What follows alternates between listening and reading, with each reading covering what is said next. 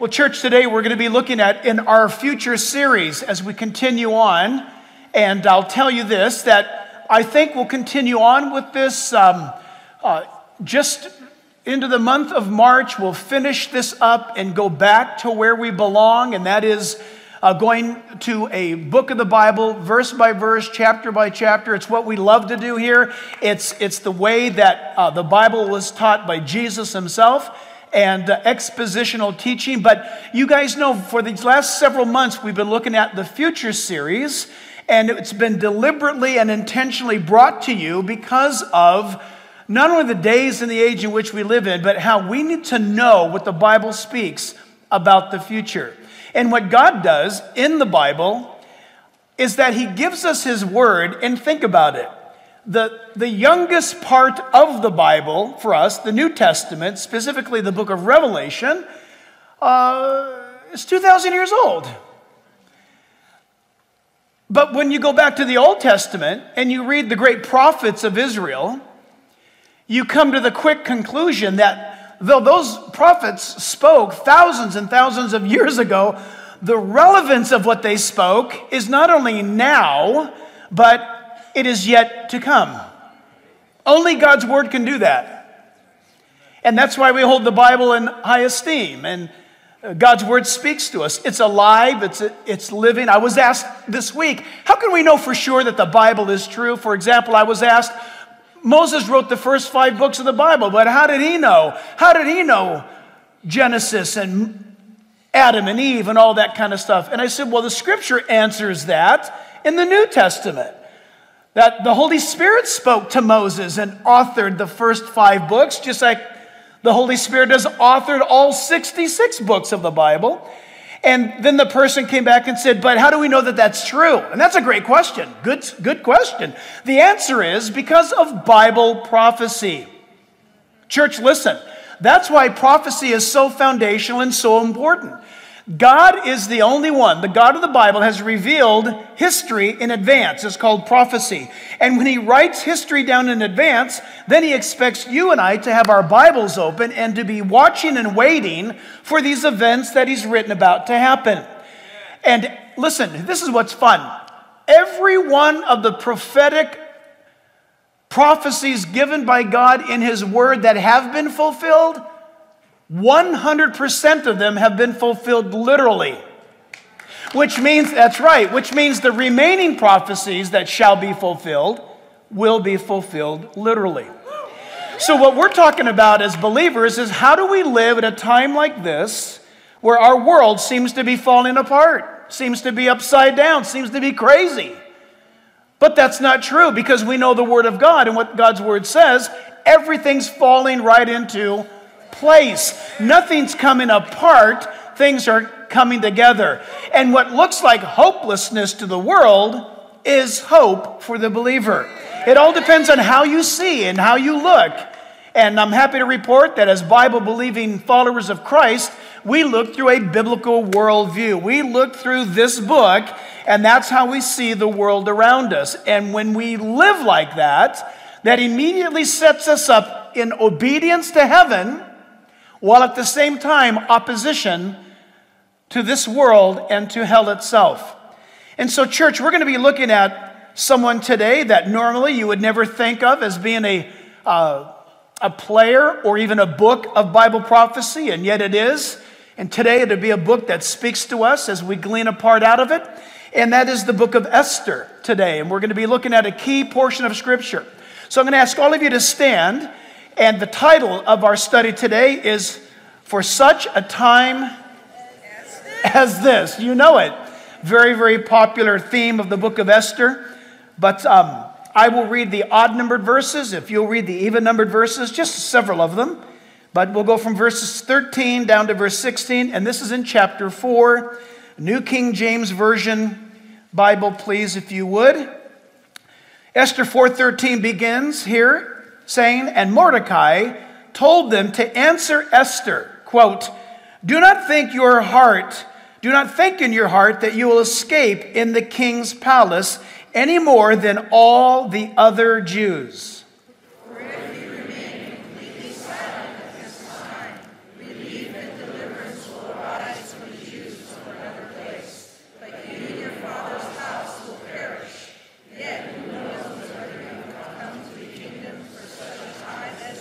Verse 15 Then Esther told them to reply to Mordecai.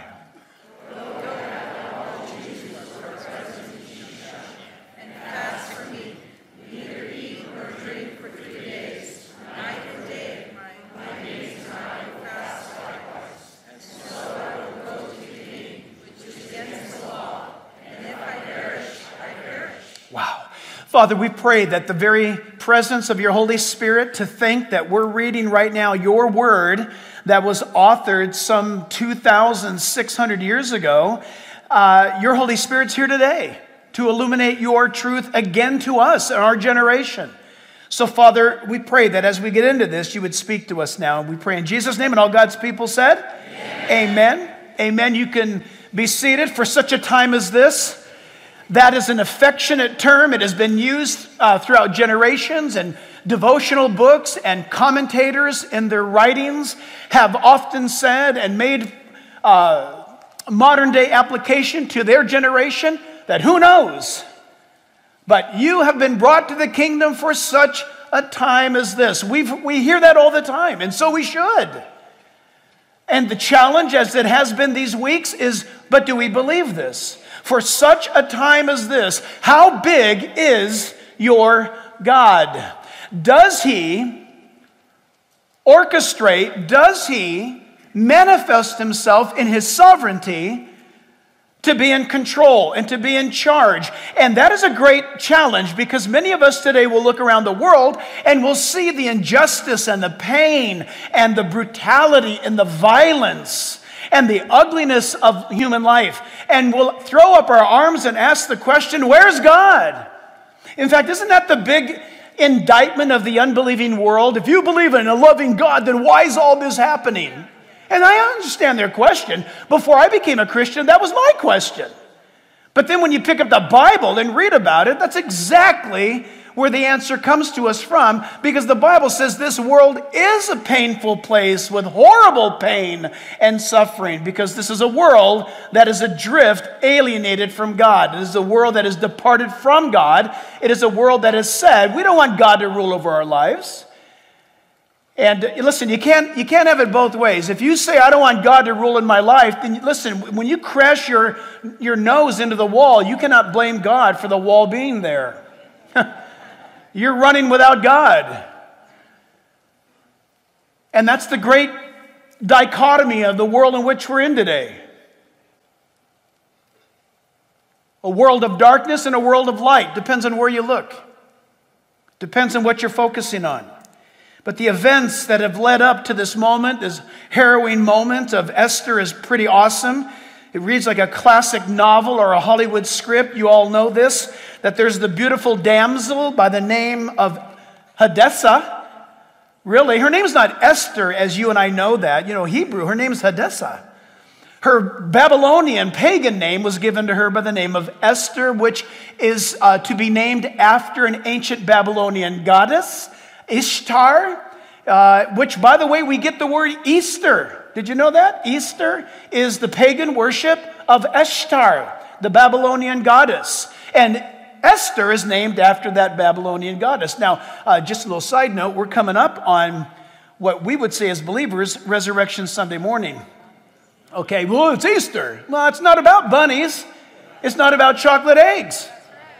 It's interesting because, listen, the pagan world will always try to mask God's reality with knockoffs and detractors. So it's just like everything in life light, dark, true, false. We're going to be coming up on the celebration. It depends on how you look. It depends on what you're looking through. You're either going to celebrate, celebrate bunnies and chocolate and a day to sleep in, or you're going to get up early and you're going to celebrate the resurrection of Christ. Uh, two, different, two different great things there.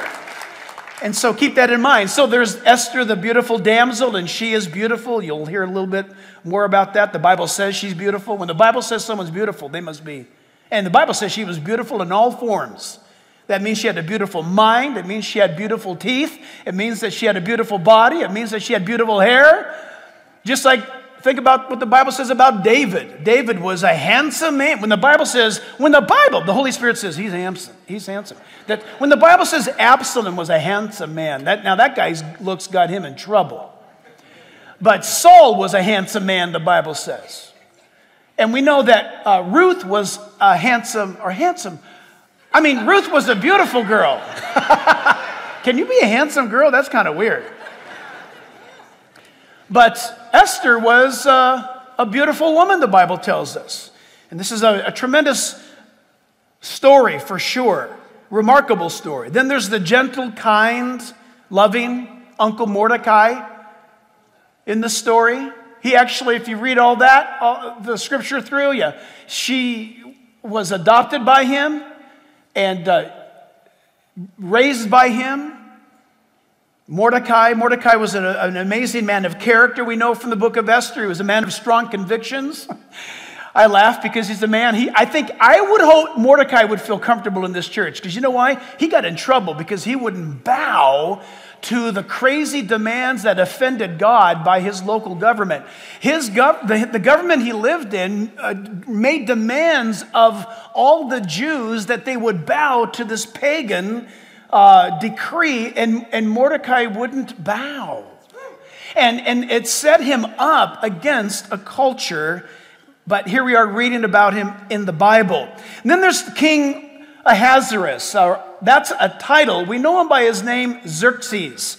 And uh, he was the ruler of the known part of the world at that time. In fact, in Esther chapter 1, verse 1, listen to this. The Bible says, Now it came to pass in those days of Ahasuerus this was the Ahasuerus who reigned over 127 provinces from India to Ethiopia.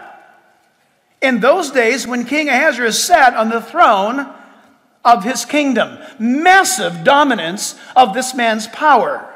So you've got the king, and you've got now Esther, who's queen. We don't need to get into, we'll wait for the study of the book, how Vashti uh, became deposed as queen, and Esther was brought in and established as queen, and the dynamics behind that. But then there's the man who uh, you may or may not know of. Uh, if you've read your Bible, you've heard of this guy by the name of Haman. Very good. Did you know what happened up here? These people started to hiss. Whenever you hear the name Haman in Israel, if you're Jewish, you're supposed to hiss. And um, it's a mockery. Uh, Purim, the Feast of Purim, is all about Haman being destroyed by the sovereign work of God in the lives of Mordecai, King Ahasuerus, and Esther. Uh, because as we'll see today, and this is how it ties into our message, Haman was an anti Semite. Haman wanted every Jew to be killed. Haman made plans to eradicate from the world every Jew. And that was his plan. And he was obsessed with that plan. He was the second most powerful man in all of the kingdom, but he wasted all of his energy and all of his power and all of his uh, tremendous responsibility writing executive orders. I mean, I mean, writing an order writing an order to destroy all the Jews. Instead of doing something with his power, he just wanted to go after everything that God was establishing. And Haman became obsessed and accomplished nothing, actually, it turns out, but to destroy his own life and the life of his family. He was a man given over to jealousy and rage. The Bible tells us in Esther chapter 3, verse 2, that Mordecai, the Jew, would not bow or pay homage to Haman. Can you imagine? Everybody's bowing down and there's Haman. And remember, he hated the Jews. So here comes this Jew. And I, am telling you, I want to see this. I hope God replays this in heaven. Everybody's bowing down and Haman is like, yes. Think about him like an Antichrist type. The Antichrist wants everyone, he's going to want everyone to bow to him, bow to him, right? But the tribulation saints, they won't bow to him the remnant believing house of Israel, they will not bow to him. So everyone's bowing, and there's Haman, oh, all excited and getting, you know, this narcissistic weirdness going on. And then here, go, here comes old man Mordecai. He's just, right? And he, who knows if he just can go, you know? at Haman, or he just walks by and. But Haman was obsessed with this Jew who wouldn't bow. Obsessed. The Bible tells us also that in Esther chapter 4, verse 14, as we read a moment ago, for if you remain completely silent at this time, Mordecai says to now Queen Esther, his adopted niece, relief and deliverance will arise for the Jews from another place. In other words, girl, don't miss your opportunity here. You think you got your job being the queen because you're a cutie? God's working. This whole thing, Esther, God is working. And He's working out a deliverance of His people. So don't think for a moment, Esther, that you being cute and you being the queen, you're going to escape the wrath of this angry Ahasuerus, Xerxes, who is going to eradicate the Jews based upon the coercion of Haman. You're not going to escape. When they find out, in other words, when they find out, Esther, that you're a Jew, your head's coming off like everybody else. Tremendous statement. And so that word goes on to say, and I love it, yet who knows whether you have come to the kingdom for such a time as this? And that's our point today, church. Who knows? Listen, can you hear me? Anybody? Raise your hand if you can hear me right now. Raise your hand if you're breathing. Listen, I, I can honestly say this. I mean this with all my heart. I want to assume that every one of you are born again believers following Jesus Christ today. But let's say there's somebody in here that's not a believer that's following Jesus in life today. I, I can still say this with what I believe conviction that who knows, but whether you've come to the kingdom for such a time as this. Number one, the believers in this house right here, right now, God is saying to you, who knows, but for you now, that you've come to the kingdom for such a time as this? I believe the answer is yes, because my God wastes nothing. He wastes nothing, not a moment. And the fact of the matter is that you are alive right now, Christian, no matter what or where you may be or who you may be, you are living right now by the awesome decree of God. It's God's will that you be alive right now. To not believe that is to fall into fear, is to fall into depression, is to fall into meaningless existence. And who wants that? But to the unbeliever or the one today that's not following Jesus, I want to say to you right now listen, you think you moseyed on in here today? You think you just listened to the bribes of your friends that they'll buy you breakfast after service? That's why you came? You think that you're watching right now or you're tuning in because, uh, you know, it's what you ought to do? I got news for you. The God of the Bible is announcing to you, who knows? But for such a time as this, that you're listening to the things of the kingdom. God is coming after you. He's coming after you with love, hope, forgiveness, and grace. He, that's his invitation to a lost world. And you need to respond because eventually there's judgment coming. And he wants you to be free from that judgment. He wants you to be rescued from all of that. So the truth of the matter is, we're looking at this today regarding this 21st century that God has application for our lives. He's appointed us to this purpose. And He's given us really what we would call perhaps a big idea. And that big idea is God's in control. Christian, God is in control. In all the things of life that disheveled you, know that God's in control. He, he, never, he never once told us, you need to understand what I'm doing in the world. You know that? God never said that. Now, Jack, sit down. You need to understand everything I'm doing. He, he's never said it, he's not saying it, and he'll never say it. You want to know why? Because it takes faith to follow him. When he says, I got this, faith says, mm, okay. Yes, Lord, you, I'm, I'm backing away from it. You got it. Okay, doubt says, uh, it's okay, God, I'll take it from here. because I can't trust you. I'm terrified. I got to control this. Esther was in that place of, hey, I'm the queen. I don't want to get involved. And nobody knows I'm Jewish. And Mordecai comes with absolute truth and reality. In Daniel chapter 4, verse 17, the Bible says, Know that the Most High rules over the kingdoms of the world. You know who believed that, by the way? You might be shocked to find this out. Ben Franklin put it this way God governs in the affairs of men. Isn't that cool? God governs in the affairs of men. In fact, can you guys put up that? You have a low? Uh, yeah, did you look at this? These, this is the cartoon. This is one of his uh, in one of his books, in one of his uh, science books. At the top, that's um, Ben Franklin's actual writing. And you see the writing. You see, by the way, see those glasses, and you see the line in the middle. Do you know why there's a line in the middle? That's right. He invented the bifocal glasses, among many other things. But Ben Franklin had written, that's what's, that the bottom uh, makes clear what's written at the top. He says, The longer I live, the more convincing proofs I see uh, this truth that God governs in the affairs of men. Ben Franklin wrote that. Remarkable. He's echo- echoing Daniel, Daniel 4:17.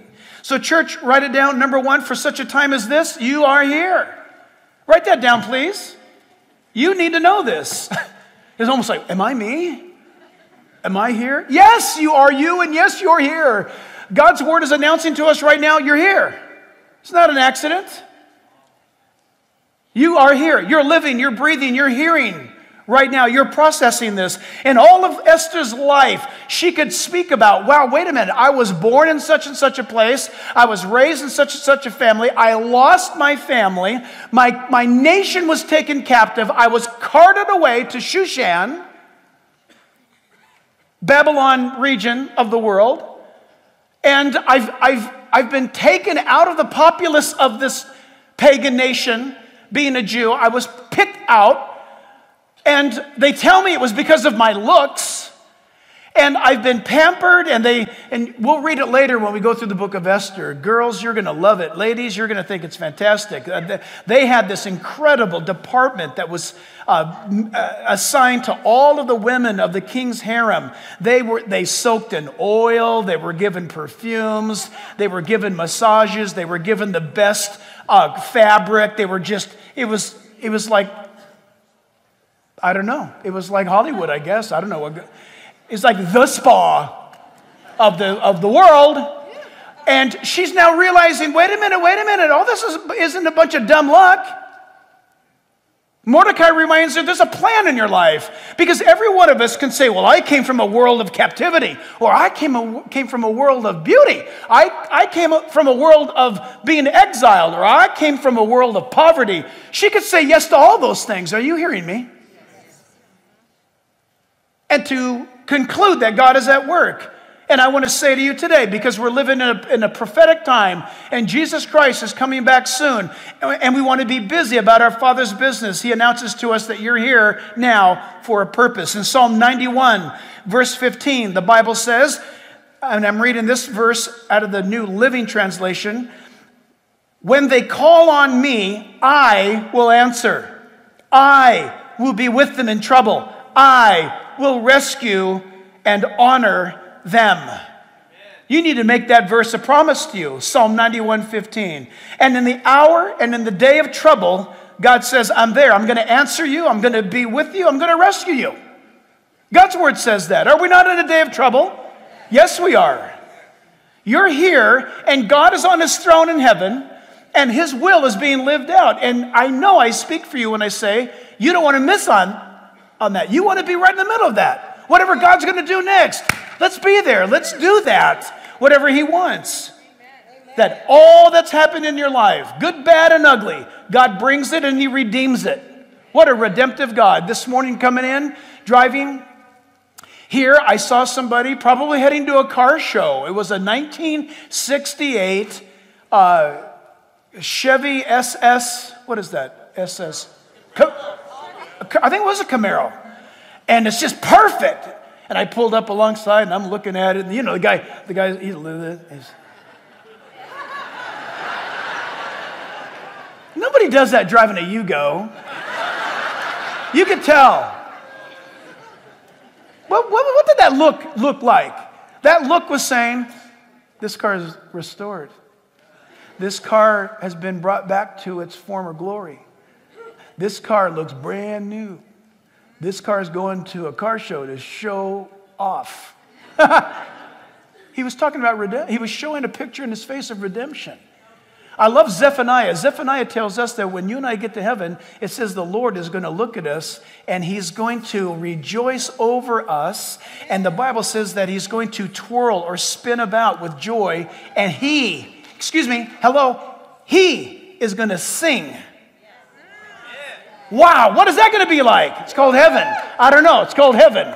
But God's going to say, Jack, woo, yeah. Can you imagine? Don't, don't you get the feeling that you're going to tiptoe in, like you're not supposed to be there? Oh, I hope nobody checks the records too closely. I'm afraid I might find out I'm not supposed to be here. No, the Bible says a broad entrance is going to be supplied to you from Jesus Christ. Trust Him. And when you enter in, the Bible says God is going to look at you and say, Woo! And He's going to sing. Can you imagine that the God who invented singing sings? It's going to be something. Wow, that's going to be awesome. No, listen, you're here right now for a purpose, church. These last days events include you. That's thrilling to me. God, how do you want to use me? Should be our prayer. And here's the catch God seems to show up the biggest throughout the Bible in our lives when we're in trouble. Esther was in trouble. She's just trying to hide from it. Mordecai was in trouble. Daniel was in trouble. Noah was in trouble. Moses was in trouble. You want to make a difference? Get in trouble. God will show up when you are standing for Him. And you got to be in trouble. We're called to trouble. I mean that in a good way. We're ordained to trouble. The Bible tells us we're appointed to trouble. But I want to just give you the fine print. Our God shows up in times of trouble.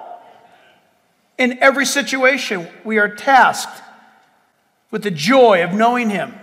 The Bible tells us in Acts chapter 2, verse 22, listen to this God works, my friend, according to His divine appointments.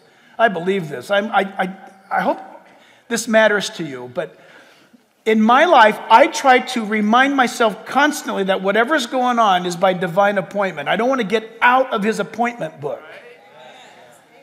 So when something happens, I got to stop and say, okay, wait a minute. I just got a flat tire. I got to pull over.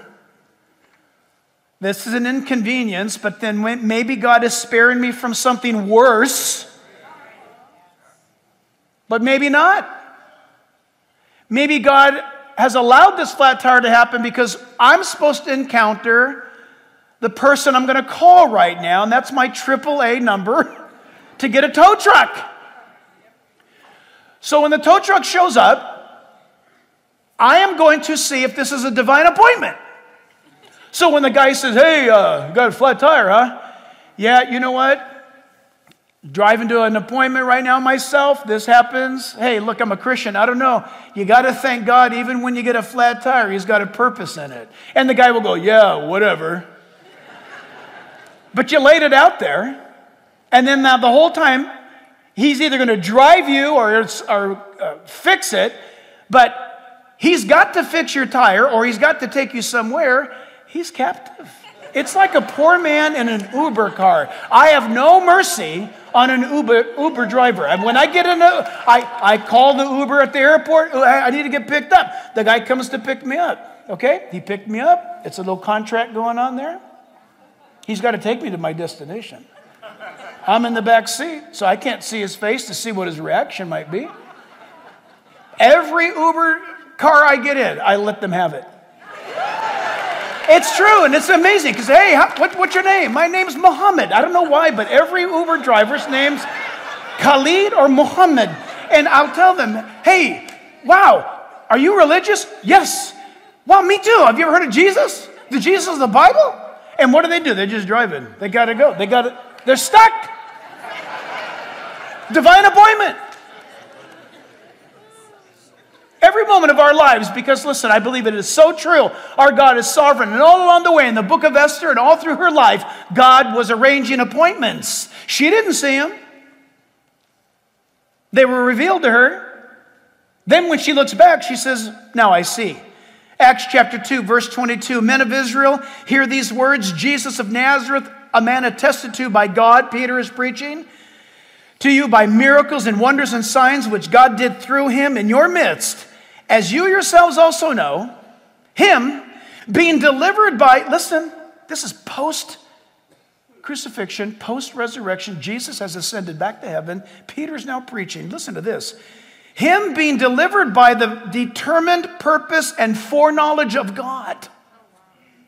You have taken by your lawless hands and have crucified and put to death. Man, that's the power of God. God is at work, but how you respond to the fact that God's at work, it establishes God's will. He's going to do his will, but at the same time, when he does it, you better choose which side you're on. God's predetermined counsel was that for his son Jesus to be crucified. What we're responsible for is believing in him, and what you're responsible for in your own life is if you don't. That's a true statement. God called, God ordained, God appointed. Jeremiah chapter 1, verse 4. Please make this your own. Jeremiah uh, chapter 1, verses 4 and 5. Then the word of the Lord came to me, saying, Before I formed you in the womb, I knew you. Church, stop right there. Is that not a truth of God, period? Whoever you are, did God not know you in your mother's womb?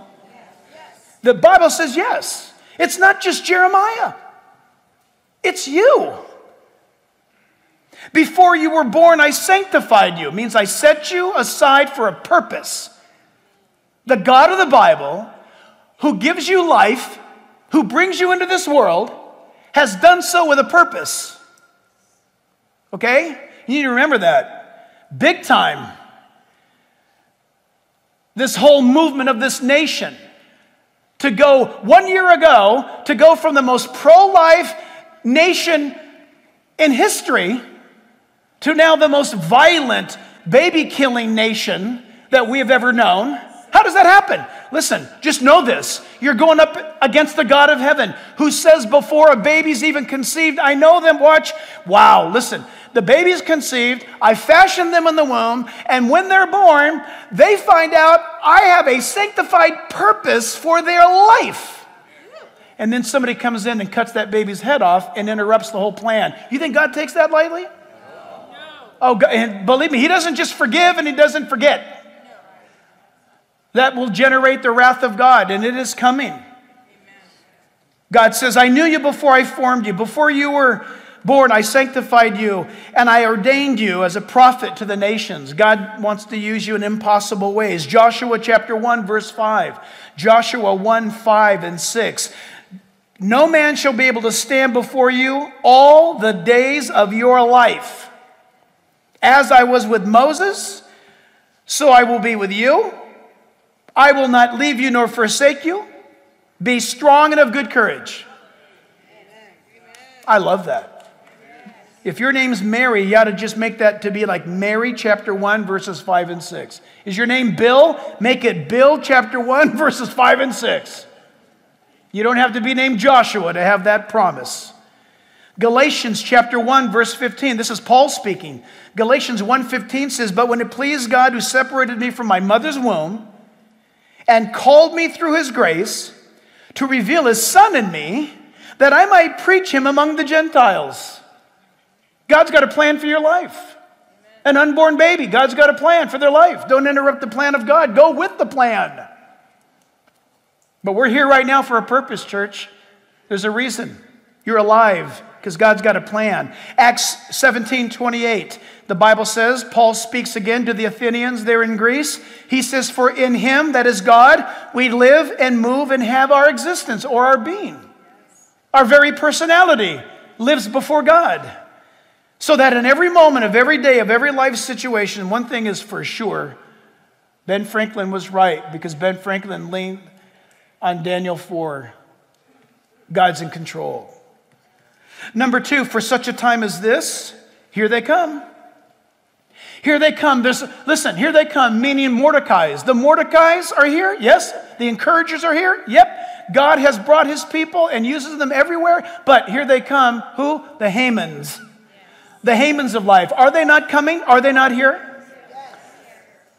The Bible talks, in fact, read it later. It's fantastic read. Read First John, the whole chapter, or the whole book, I should say. It'd take you a whopping 10 minutes. It's only five chapters. First John will talk so much about the Antichrist, the spirit of Antichrist, and many people who follow the Antichrist spirit in our day today. Uh, we could this morning just say, call them Hamans.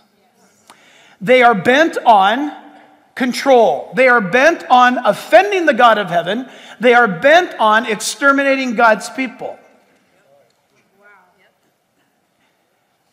You say, how is this a Bible study on futures and Bible prophecy?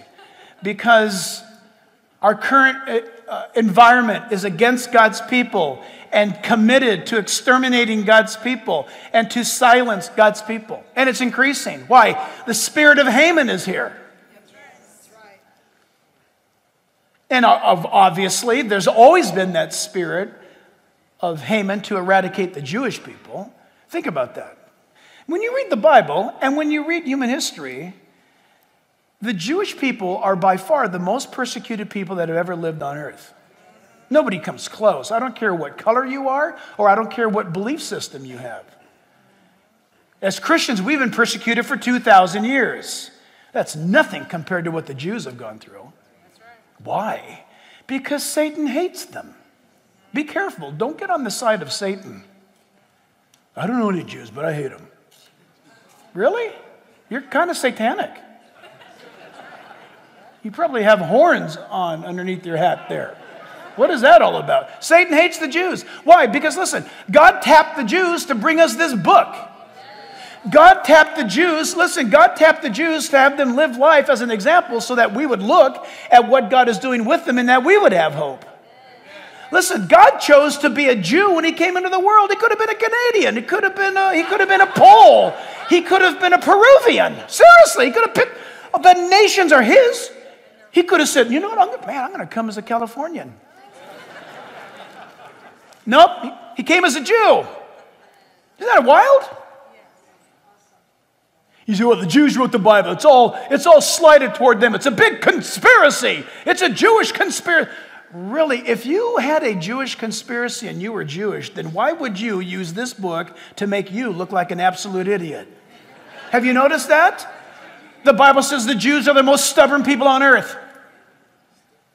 One thing after another, they're disobeying God and they're offending God and they're leaving Him to worship pagan gods.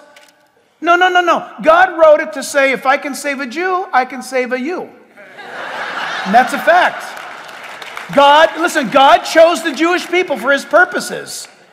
Satan hates them, and you better be careful that you make sure that you love them by provoking them to the love of Christ. But here they come, the evil marching on. Washington Times article, I'll read it. It was, uh, this is the image of that article. You can look it up later. Washington Times reported science tells, listen, science tells us that an unborn child is a human being. That was my response to former uh, Vice President, now President Joe Biden, in a tweet earlier in the week. We need a president who believes in science. So is Mr. Biden a science denier? Now, President Joe Biden embraces the extreme view of abortion on demand all the way through to birth. That's called murder, ladies and gentlemen. He now supports the all taxpayer funded abortion campaign against the unborn. And God from heaven watches. Here they come. They're against the gospel. They're against religious freedom. They're against what is true. Isaiah chapter 5, listen, Isaiah chapter 5, verse 20. You listen to this verse, and then you ask yourself if God does not know what he's talking about when he speaks about the future. Isaiah 5, 20, 21. Woe. Woe to those who call evil good and good evil. Who put darkness for light and light for darkness. Who put bitter for sweet and sweet for bitter. Woe, verse 21, to those who are wise in their own eyes. Experts, by the way. The word wise in their own eyes is an expert in their own eyes. Experts, experts, experts. And then the word woe twice. Woe, God says, woe That word means aha. We don't, we don't care what that means. Oh, so what? Aha. Oh, in Hebrew, it's bad.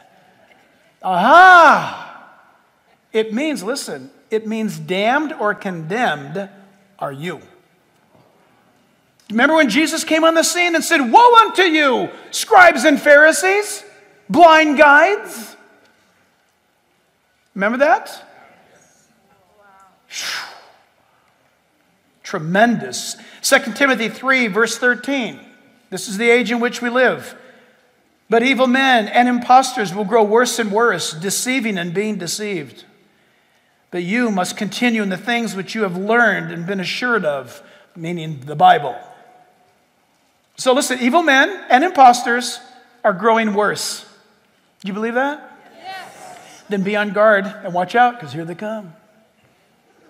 For such a time as this, you're alive to not only be used by God in this divine appointment, but also to be on guard against those that are coming. I shared this on Wednesday night. I'm going to read it again. Please allow me to elaborate a bit. Ezekiel chapter 33, verse 1 through 7, right now. Listen to this. Here they come. And again, the word of the Lord came to me, saying, Son of man, that's what God called Ezekiel, speak to the children of your people.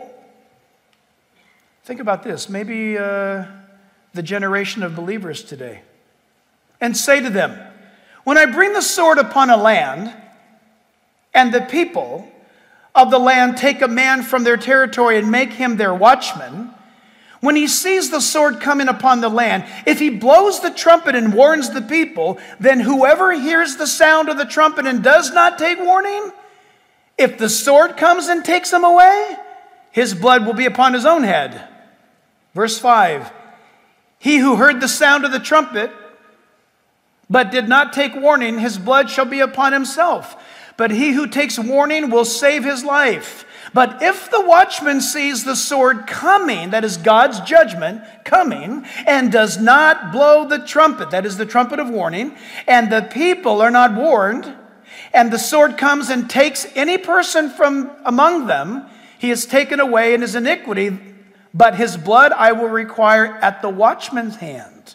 So you, son of man, I have made you a watchman for the house of Israel. Therefore, you shall hear a word from my mouth and warn them for me. And you can read that again as I did last Wednesday night, and you can make it this way. Every time you read that, when you say, for example, in verse 2, when I bring the sword upon the land, and the people or the church in the land take a man of their territory and make him to be their pastor, and when he sees the sword coming upon the land. Are you with me? Do you get that? If that pastor blows the trumpet of warning and people don't listen, then listen, those people are on their own.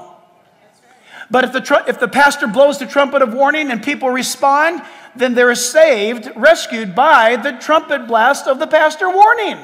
But God says, in the days when my hand will be heavy upon the land in judgment. If that pastor does not blow the trumpet, then I will require at his hand the blood of those who did not hear the warning. And we live in a time right now. Here they come. It's not only falsehood in politics and falsehood in business, but it's falsehood in ministry, falsehood in the pul- pulpits. Be careful, watch out. You, my friend, are alive for such a time as this. God wants to use you in a radical way. I'm absolutely convinced of it. Number three, for such a time as this, here you stand. We're called to stand. Now I got to watch myself over this one because I have to. I have more to teach on. I just have to watch that clock because this thing is a big deal to me about standing. Somebody has said if we don't stand for something, we'll fall for anything. Somebody has well said that by being silent in the face of a situation is to be in agreement. Sir Edmund Burke, in the Parliament of England during the revolutionary period of the United States and the colonies, I should say, Edmund Burke said, All evil needs to do to triumph is for good men to do Nothing. And the Bible warns us that in the last days, apathy will be here. But we are called to stand, you and I are. Esther was called to stand. Esther, listen, don't think your cuteness is going to save you. God's brought you into the kingdom for such a time as this. And think about it. The Bible goes on to tell us that she's going to walk in. She's not supposed to. In fact, the Bible says in the book of Esther that her and the king had not been together for 30 days. Maybe they, they were on the outs. Something was wrong. She hadn't talked to him for 30 days. She hadn't seen him in 30 days. And you couldn't walk in. He had to raise his scepter to allow you to come in. She went in unannounced. You know what that means? It's punishable by death. She realizes, okay, here's what's up. I either take a stand and I go in and risk my own life to represent my people, the Jew, and to expose to the king Haman's plan to kill every Jew and to hang my uncle Mordecai on the gallows, which, by the way, if you read the fine print, Haman had gallows built, I think there were 66, 75 feet they were so tall, exaggerated, in his front yard to hang Mordecai on. He wanted Mordecai to hang in his front yard. I can't wait. He probably had a little tailgate party going on, barbecue happening. He's got his I hate Mordecai hat on. And he's just like, this is going to be awesome. That Jew is going to be hanging by a rope by the end of the day. And Esther reveals the plan, and it so infuriates the king that the whole plot turns around on Haman and winds up landing on him. He's the one who winds up perishing. He's the one that winds up hanging. Is listen, in the world, you build the things that are going to hang you eventually. The very thing that you're flirting with and hugging and stroking and talking to and, and wondering about and propping up and, and, and all that kind of, guess what it's going to do someday? Someday it's going to get you. That's the way the world works. That's the way sin works. And the amazing thing is, she was called upon to stand, and she realized, man, if I go in there and stand, if he doesn't raise that staff off with my head, that's the protocol of the kings. So she takes her life in her own hands and she walks trusting that God's in this. And she walks up there and, he, and the king raises the scepter. And when she approaches, you're supposed to touch the top of the scepter and then you can talk. So she starts telling him, This is what's up, king and he gets furious. When we stand as believers, every single one of us, we must take a stand. And I'm going to ask you, church, right now today I don't care who you are, I don't care how significant, insignificant you think you are, or how significant you think you are.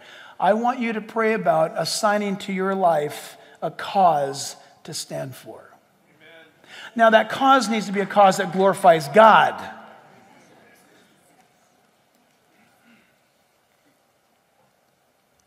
But you take a stand for God and you'll be opposed to this world. You need to know that. The world is not going to come up and throw their arms around you. Take a stand. John 16, 33. These things I've spoken unto you, Jesus said, that in me you might have peace. Well, why do you say that? Because in this world you'll have tribulation. Be of good cheer. I've overcome the world. Man, that's a strong statement. We hate, we hate Christians. We need to shut them down. Like this legislation this week that's going to be now be heading to the Senate that the Bible is a bigoted book. The Bible is hate. The Bible is not in step with modern times. Really? Don't be alarmed by that. Stand up. You be ready. You remember this sermon. God's in control. Listen, you're not, you're not, being, you're not being put in the doghouse for that. The governing powers that have left off pursuing God's will, they're in the doghouse. They just don't know yet. The very thing that they're designing to hang you on, according to God, they're, they're going to be hung on that. Remember that.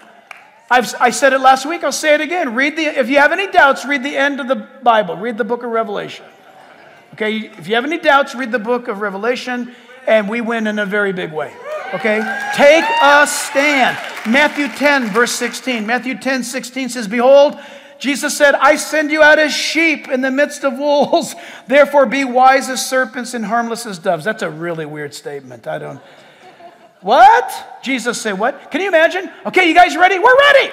You ready to take a stand? We are so ready. All 12 of them are standing there. Ready. Reporting for duty, sir. You can see Jesus. All right. To send you out. Send us out. I'm going to send you out like sheep. Sheep. You're the shepherd and we're the sheep. Yeah. I'm going to send you out like sheep in the midst of wolves. Sheep in the midst of wolves. What? Are you sure you got that right? They don't mix. Yeah, yeah, Jesus would say, that's the point. I'm going to send you out like a dove. But you need to be smart like a snake. Gentle as a dove, right? Our hearts are to be gentle.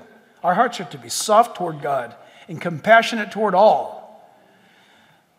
But wise as a serpent. Yeah, you don't step on snakes. You don't, when's the last time you stepped on a snake? If you stepped on a snake, you're, you were in a place you shouldn't have been. Let's be honest, but nobody leaves this building today and steps on a snake. They're too wise. They're hiding out. And Jesus says, when you go out there, I see you like, like sheep. Yeah, and you're gonna be you're gonna go out there, a whole bunch of wolves out there. It means he'll take care of you. Remember, you are the sheep of his pasture, and the wolves are all the hostile unbelievers in the world around you at work and at home. And Jesus says, I got this. I got you. For such a time as this. But I'm a sheep. And that's how you're safe, because I'm your shepherd. You don't want to be a sheep like, you know, what do you got? You got, you got a helmet on, sheep with guns, sheep with grenades. That's ridiculous. Sheep would probably blow themselves up. A, a sheep would shoot himself. What is this? A sheep falls over first chance it gets. Sheep need shepherds. Jesus says, I got this. Remarkable. Bible says in Ephesians 6, verse 10, finally, my brethren, be strong in the Lord. That's it. You ever see sheep working out?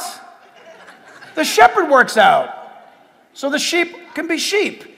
Be strong in the Lord and in the power of his might. Sheep have no might. Put on the whole armor of God that you may be able to stand against the wiles of the devil. We're living it right now and it's increasing. For we do not wrestle against flesh and blood, but against principalities, against powers, and against the rulers of the darkness of this age. That's demonic activity. Against hosts and spiritual wickedness in the heavenly places. Therefore, take up the whole armor of God, that you may be able to stand or withstand in the evil day. And having done all to stand, stand therefore, having girded your waist with truth putting on the breastplate of righteousness, and having shod your feet with the preparation of the gospel of peace, and above all, taking the shield of faith, which is able to quench all, hello, all the fiery darts of the wicked one, reference to Satan and his minions. Verse 17, and take the helmet of salvation, which is awesome. Salvation protects your head. Isn't that great? The helmet. And the sword of the Spirit, which is the Word of God, the Bible praying always with all prayer and supplication in the Spirit, that is the Holy Spirit, being watchful to this end. That's the Christian. That's the life we're living in. Listen, you're going to live that now or you're not. If you live it, you're going to win in Christ. If you don't, you're going to lose at the attack of this world. Isaiah 41, we're almost done. Isaiah 41, 13. For I am the Lord your God who takes hold of your right hand and says to you, Do not fear, I will help you. Very quickly, number four, here they fall.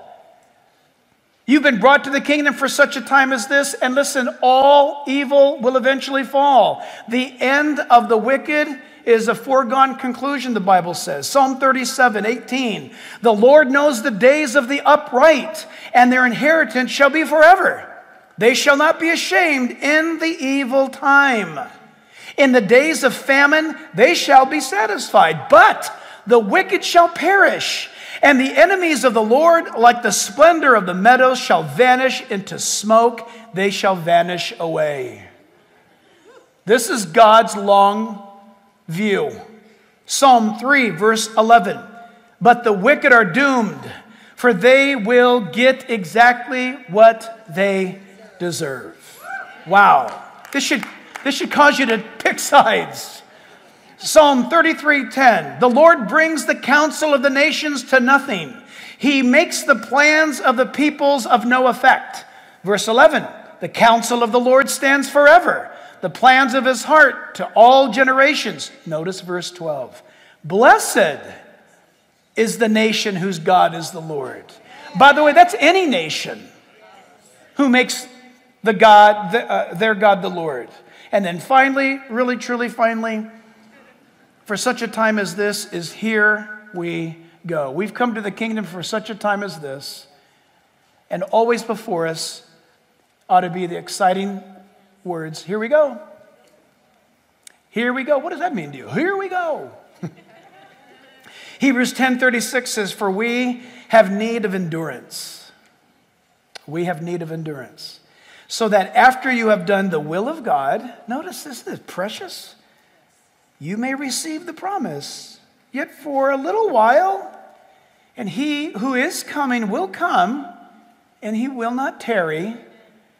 That is, Jesus is not, like, he's not distracted right now. That the moment that he's coming has been appointed by his father. He's not like, he didn't make a left turn a couple years ago, and he's trying to find the. Oh, no, no, no. He's not tarrying. He's not just, you know, hanging out. Oh, I know I was supposed to go get them, but. No, the, the second the father, the second the father says, you go get her. By the way, if you haven't viewed, if you haven't watched, it's on Amazon, uh, Amazon Prime. Go watch it later today. It's called Before the Wrath. Watch it, Before the Wrath. The son is waiting for the father to say, Son, you have built this wedding chamber, this, this wedding home beautifully. Go get her. And he's he's after her. A Galilean wedding. But do you see? Do we see? I want to leave you with this picture about here we go. People are being consumed in this day and age. Sad report United States of America consumes more tranquilizers and mood altering pills than any nation on earth. The reason why is because we have departed from God's promises. It's easier to pop a pill in the short term than to lift a prayer. One has horrific side effects, the other, eternal value. One will destroy your liver the other one will give you life. How you see things matters. Ben Franklin's bifocals, I want to use in our closing. Right in the middle of his glasses, he drew that line which demarcated the bifocal. Looking straight ahead, normal glass. Looking down below, magnifying glass. If you've ever had bifocals, you, see people trying to use them, Right? That's why they invented transitions lenses. Progressives, thank you, progressive lenses. Because bifocals is like this. And why? Because if you want to look at something close, you go like this. And then somebody says, uh, you, Is that, hey, how are you? And you go, I'm fine, how are you? Hang on a minute, let me read this. looking, looking through the difference. You see things differently. You want to see things broad and, and open, and then you look to the top. You want to see things up close and magnified and personal, you look to the bottom. How you see matters. Esther was educated on her vision. When Mordecai said, Don't think you're, you're going to escape. The opportunity is yours to stand up for your people. And if you don't do it, that's on you. You should have blown the trumpet, Esther, but if you don't, it's on you. If you blow it, though, and you let people know, God will deliver his people. But if you don't participate, God will find another, another deliverer. In other words, God's going to get his plan done, right, church? God's going to do his plan in the 21st century right here, right now. I don't want to miss that. So when I look through, as it were, spiritually, Ben Franklin's bifocals, I want to make sure I'm seeing clearly. I want to make sure I have them on right. I want to make sure I'm wearing them properly. You need to make sure, listen, that you see this word in its entirety. Some time ago, a couple years ago, we were at Universal Studios. Remember that place? It used to be a place, I think it used to be an amusement park. I'm not sure even if it exists anymore, but you get on this tram and they tell you, no, at this one point before you, we enter in, you got to put these glasses on. You got to put these glasses on. It's 3D glasses. So it was a bright California sunshiny day, so I, I, had my, I had my glasses on because we're driving around Universal Studios outside, all that. You've been on, have you been on that ride? Yes. So we get ready to go into this thing, in this tunnel. I got my glasses on. And so we go in, and everybody's st- at the front of the car and the trailer, they start screaming. Ah! People are like freaking out. You see everybody leaning, and it's like, oh my goodness, wow, this is going to be amazing. So now we get in, and everybody's screaming. My wife's screaming, grandkids freaking out, uh, friends that are with us, they're, ah! And there's spit and stuff flying. There's like, you know, like dinosaurs like, are like spitting at us, and there's this uh, King, uh, King Kong all that stuff's going on. And I'm, and I'm like, what is this? And everyone's ducking and look out and look out. And I'm like, I didn't get it. We got all the way through. There, but wasn't that amazing? Oh my goodness, that scared me so bad. Oh, that was fantastic. And I'm going, I don't get it. And I honestly said, I'm not kidding. I was so embarrassed. I was. I said, look, listen. My glasses were either messed up or something's wrong with that ride.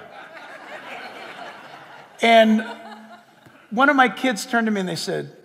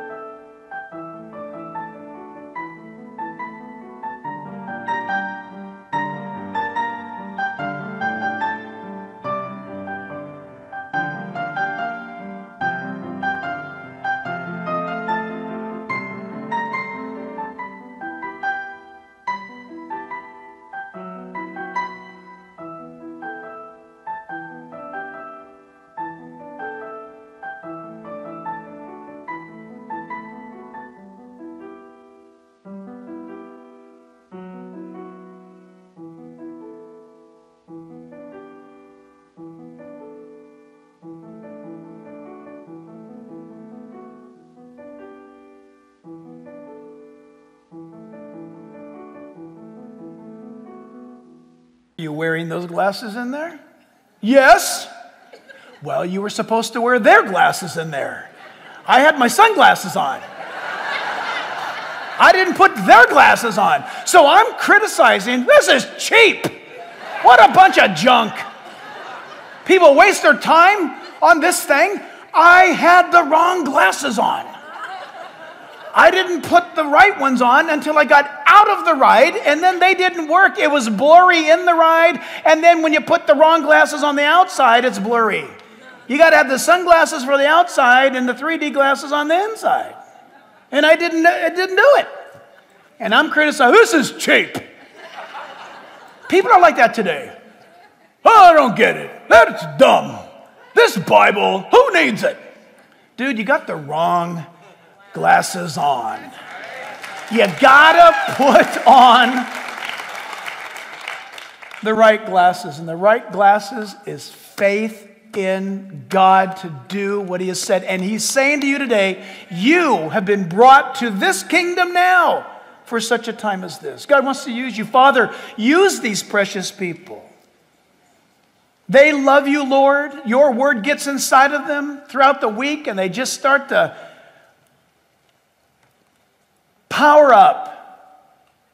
Battery starts charging, light starts emanating out of them. And Father, today they're going to go out into this world that is terrified and hurt and wounded and lost. And I pray that you would use them. We've all been brought to the kingdom for such a time as this right now. And so, Father, we just pray that on our lips always would be the fact that as we go forward in this battle and we wait for the wonderful arrival of our King, King Jesus, that we would be very careful to say and to announce that for God so loved the world that he gave his only begotten Son. And what, what happy words these next statements are that whosoever would believe in him would not perish but have everlasting life. Father, may we go forth bearing precious seed, announcing Jesus died on the cross for our sins and rose again from the grave, and that we are forgiven in him, and that we've been given new life, and that we walk in this newness of life to live the purpose for which you've called us into the kingdom for such a time as this you are glorious. Well, hey, thanks for listening, and uh, we appreciate you. And of course, we do in this time and in this age. Us being together and linking up together to get the Word of God out is actually ministry being fulfilled. And in fact, if you would like to subscribe, please do so. Hit the subscribe button, tell your friends about us. And listen, if you'd like to help us get this out on a broader scale, you can support us by hitting on the Give Now button. And look, we're going to continue on with or without you. We're inviting you to join us. No pressure. But if you'd like to link arms in this venture, you'd be greatly appreciated. So listen, keep praying for us. We're praying for you. God bless you. And we'll see you back here real soon.